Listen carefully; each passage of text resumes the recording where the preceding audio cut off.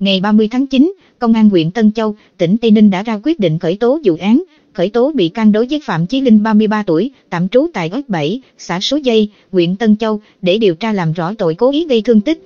Công an đang cho bị can Linh được cho tại ngoại. Qua điều tra, bị can Linh là người đã đánh, dìm vợ mình là chị Tờ. Tờ. Tờ. M.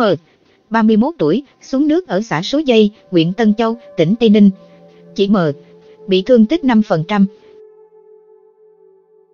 Trước đó, Linh và chị M. là vợ chồng và có hai con chung. Khai tại cơ quan điều tra, Linh cho biết bản thân nghi ngờ chị M. Ngoại tình nên khen tuông. Khi không gọi được cho vợ, anh ta tỏ ra bực tức. Trước đó, vào tối 13 tháng 9, sau khi chị M chở hai người con từ bên ngoại về nhà, Linh tác vào mặt vợ, đạp chị này xuống hồ bơi gia đình. Chưa dừng lại, Linh nhiều lần dìm vợ xuống nước trước mặt hai con. Hình ảnh vụ việc Khi chị mờ dằn thoát lên bờ, Linh tiếp tục đánh vợ nhiều lần trước mặt con. Toàn bộ sự việc được camera an ninh của gia đình ghi lại và xuất hiện trên mạng xã hội vào tối 14 tháng 9 khiến dư luận rất bức xúc.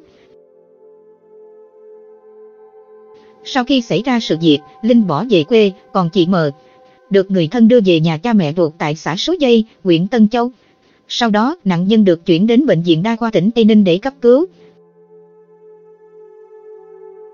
Công an đã làm việc với Linh thì người này khai nguyên nhân đánh vợ dìm xuống hồ nước là do nghi ngờ vợ có quan hệ với người khác nên khen trung dẫn tới vụ việc.